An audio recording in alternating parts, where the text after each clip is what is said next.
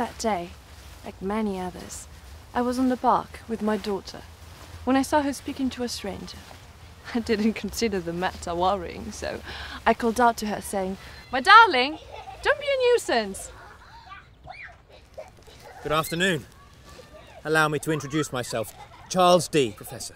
A pleasure indeed, Professor. Ellen Rhodes, mother.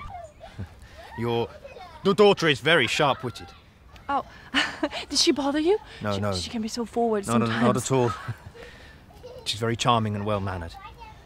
Even if she doesn't yet know about the man eating monster plants of Patagonia, which. which I hope Beatrice hasn't wasted too much of your time. no, no, no, no. She was absolutely charming.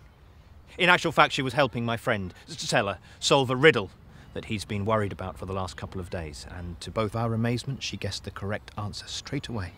And what, if I may ask, was the riddle? Of course, you may ask.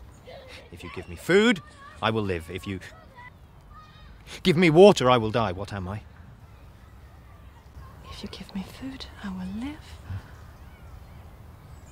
I have no idea. Did Bea answer? Yes, she did, and very quickly as well.